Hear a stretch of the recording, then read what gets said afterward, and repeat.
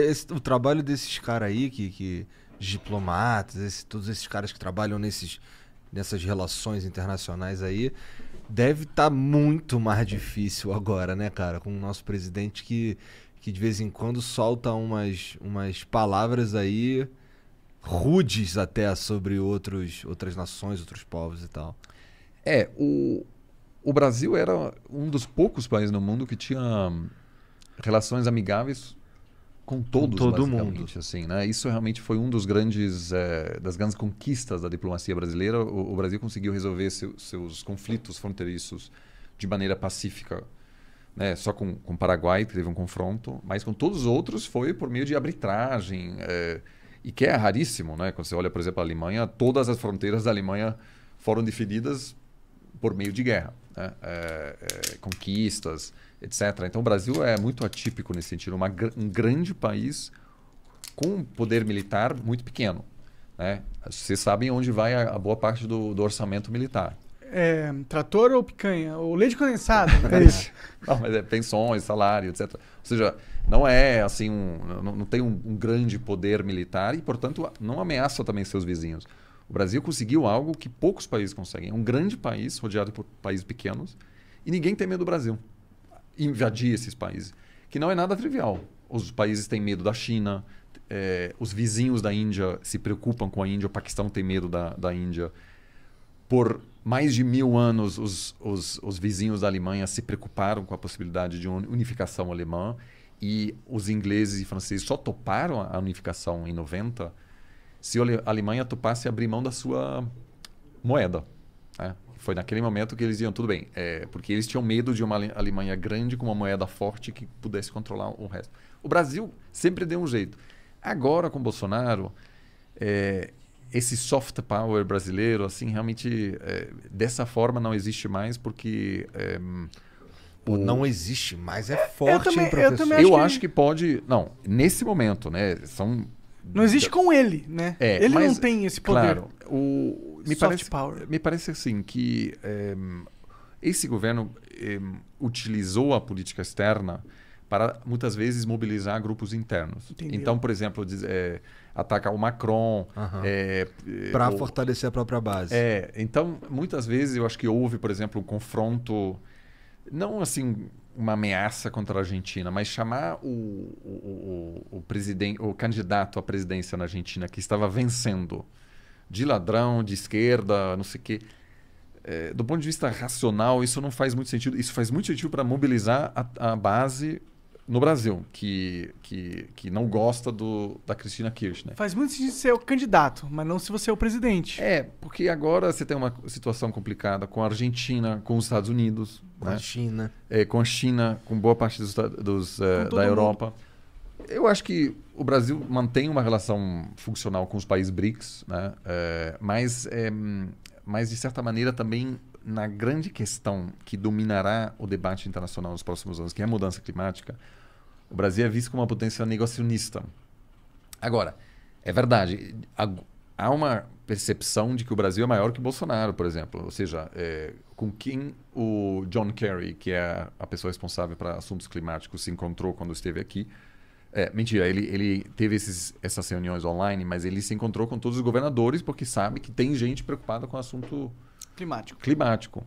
Mas, digo, o, esse goodwill, né? essa, essa, é, esse, esse, o governo brasileiro hoje é um país é, é, é bastante isolado eu diria mais isolado hoje do que durante a ditadura militar. Caralho! É, eu não, o presidente americano dificilmente receberia hoje o Bolsonaro na Casa Branca e todos os presidentes americanos, é, brasileiros durante a ditadura é, visitavam Washington. Eu entendo, mas aí quando você fala isso, eu acho que talvez não seja. Não quero defender o Bolsonaro aqui, mas não acho que talvez seja 100% culpa do Bolsonaro e mais culpa do, do ambiente polarizado que a gente vive hoje das mídias sociais.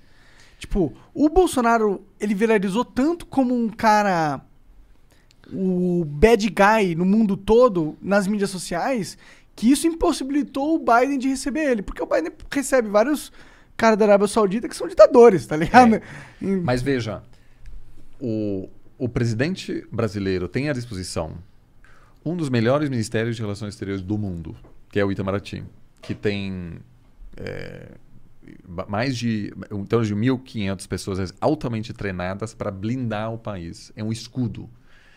E durante a ditadura militar, quando havia um debate na Universidade de Oxford sobre abuso de direitos humanos no Brasil, havia sempre um diplomata que dizia: peraí, eu queria dizer uma coisa, não é bem assim, não é bem assim. Defendendo, por exemplo, evitando que o Brasil seja é, voto vencido na ONU, é, mantendo laços, explicando por que o, o Brasil continua sendo um, um, um, aliado importante. Mas o que, que o Bolsonaro fez? Colocou uma pessoa como chanceler que, em vez de ser escudo, a, acabou ampliando e radicalizando esse discurso. Então, é, o, o, Ernesto foi uma pessoa, vamos dizer, mais ligada a teorias de conspiração, etc., que ele muito bem poderia ter colocado em outro ministério, mas colocar uma pessoa, vamos dizer, que consegue baixar a temperatura no, no Itamaraty, mas isso acabou não acontecendo. Então, o, o país ficou muito é, desprotegido durante esse tempo, o que explica um pouco porque hum, hoje nenhum chefe de Estado na Europa, com exceção da Hungria e da Polônia, toperiam apertar a mão do Bolsonaro que sério, numa esse? relação bilateral. Né? Caralho, é. que É, porque vira tóxico. Então, é, é, é, se você quer falar uma coisa não polêmica sobre RI, vamos supor que você é um candidato a algo na França e você não entende nada de RI e você quer falar algo que é seguro de se falar. Então, você fala mal Bolsonaro. Porque ninguém vai dizer, não, mas o Bolsonaro... Então, é, é, criou-se um consenso que, obviamente, de certa maneira, eu concordo com você, não é inteiramente justo, é, mas é culpa, sim, do governo, porque poderia. É, não, era, era possível tomar sim. medidas. Porque, sim, é, é, o, o, Macron se encontra com ditadores do Oriente Médio e ninguém.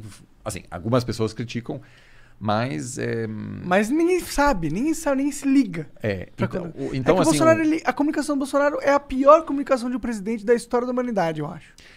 Eu acho que essa, essa meio que essa caricatura, né? Essa pessoa tóxica é, que, enfim, não se importa, que é, é, que não se importa com o próprio isolamento, isso faz parte da, da estratégia interna. Isso mobiliza Alimenta os seus seguidores. A base. É, para dizer, olha, a gente não está na mão dos chineses, a gente não está na mão do, agora dos globalistas que tomaram conta da Casa Branca, que fraudaram a eleição. Ele falou para o assessor do, do, do, Joe Biden que ele acha que as eleições nos Estados Unidos foram fraudadas. O que ele estava basicamente dizendo, eu acho que você faz parte de um governo ilegítimo. Né? E... Ele não entende a ramificação Eu acho que disso, ele nem se ligou que é. ele falou isso, né, cara? É, mas, digo, pode até dar certo, porque se o Bolsonaro topar é, por exemplo, excluir a, a Huawei da China do, do, na hora de construir a rede 5G, o que acho que não vai acontecer, aí sim se poderia até manter uma aliança com os Estados Unidos.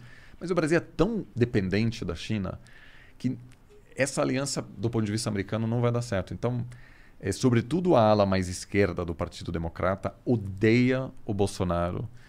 E isso, é, obviamente, tem um impacto também na política interna, porque para um investidor é, é um país um pouco mais complicado. Pode haver é, boicote de produto brasileiro, até de produto que nada tem a ver com a Amazônia. Né? Então, hoje em dia, CEOs de empresas brasileiras que vendem para mercados europeus estão não tem mais aquela bandeira brasileira na, na, né, não, país de todos, é. Porque 10 anos atrás, você ser uma empresa brasileira era uma vantagem né, que aumentava a sua visibilidade. Era uma coisa que se queria mostrar. Né? Você colocava bandeira no seu produto. Aí agora tu deixa passar batido. Hoje é um pouco. É porque. Não porque as pessoas não gostam do Brasil, mas as pessoas estão dizendo: será que esse produto tem algo a ver com a destruição da, da, da Amazônia? E eu tenho conversado com representantes de empresas que não tem nada a ver com a Amazônia e disseram que eles enfrentam esse questionamento bastante quando viajam para o exterior. Por quê? Porque o governo não construiu uma narrativa que poderia ter construído perfeitamente. É, mas era preciso colocar uma pessoa minimamente sensata no Ministério da, do, do, Meio Ambiente para ter esse escudo de novo. O que acontece? Havia é, taxas de, de desmatamento superiores às taxas atuais nos anos 90.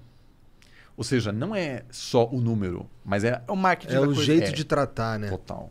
É. O Collor, por exemplo, só para dizer assim, o Collor que teve uma presença curta, organizou o, o Rio, a, a, grande conferência climática, uhum. né? teve agora a Rio mais 20. A, a primeira foi em 92. É.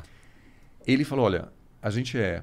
Eco 92, né? É, uma democracia jovem, ainda instável. Muitas pessoas associam o atraso com a gente. A gente é visto como um país ainda ditatorial, que está destruindo a, a floresta. Então, o que, que ele fez? Ele consultou seus assessores diplomáticos e eles falaram: olha, a gente consegue mudar a imagem do Brasil organizando a maior conferência do mundo, da história, sobre o clima. E aconteceu. E, e o mundo falou: nossa, o Brasil está tomando dianteira nesse negócio. Reconhece que é um problema, mas se torna líder nesse assunto. E mudou muito a imagem do país. Então, um outro governo né, eh, poderia ter feito uma grande conferência, dizer: olha, sim, temos um problema, vamos pensar conjuntamente como lidar com essa questão. E aí, entendeu? Eh, então, é- tem muito a ver com branding, assim, que esse governo fez muito mal. É verdade, a gente conversou com, com o Fábio Faria e uma das coisas que a gente falou pra ele foi que ele tem o pior trabalho do mundo. É o ministro das comunicações Do Bolsonaro. do Bolsonaro, cara. É, sobretudo lá fora. Né? É, é, realmente, assim, é, é, eu, eu, eu acho que às vezes as pessoas é, não se dão conta como mudou, porque o Brasil não era um país já meio isolado, era um país muito bem integrado, que falava com todo mundo. De novo, é, eu, eu sei disso porque é, durante assim, 2010 a 2016, 2017, você viajava para Sudão, Coreia do Norte, Oriente Médio e Brasil era assim, nossa, Brasil, você tá Futebol, cerveja, mulheres. é, eu- enfim, mas é um país que conseguia. é, algumas dessas coisas eu acho que foram excessivas. O Lula, por exemplo, queria negociar um acordo é, nuclear entre Turquia e. é, e, é, é, junto- conjuntamente com a Turquia, é, negociar um acordo nuclear com o Irã. Porra. É, e foi lá e ah, da assinaram. hora, porra. Aí ele, ele queria. Enfim, havia um momento em que. Pô, da hora, a gente tá cheio de problema aqui, pô. Ah, mano, mas pô, se a gente. Pô, a gente tá cheio de pra gente, é um país. A gente tem milhares de pessoas trabalhando pra gente. Se tiver então- uma pessoa trabalhando na paz de um país, é da hora, pô. Então, assim, muitas dessas coisas eu acho que foram um pouco exageradas, talvez, mas, é, mas o país nunca chegou. Naquela época, quando o Brasil resistia à pressão internacional para acabar com a escravidão no século XIX, também o, o país estava bastante isolado, né? porque é, é um dos últimos países no Ocidente a, de fato, implementar o fim da escravidão. É, mas isso, obviamente, faz muito tempo e é difícil comparar esses períodos, mas esse isolamento é, vai dar um baita trabalho para qualquer futuro é, presidente. Pra reverter esse, É. esse isolamento aí. É.